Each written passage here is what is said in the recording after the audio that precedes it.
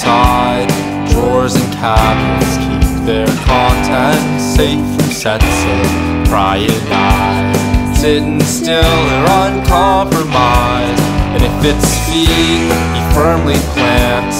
It's a mind you'll find will wander, and you'll wonder if she'd ask why he's living in the past. Cause he can't escape it, he just can't seem to slip away. Dismayed to find out the shadows of doubt have cast him in disarray. No, he couldn't shake it, it wouldn't let him get away. Well, he'll speak, cause even softly spoken words will let you say Did you happen to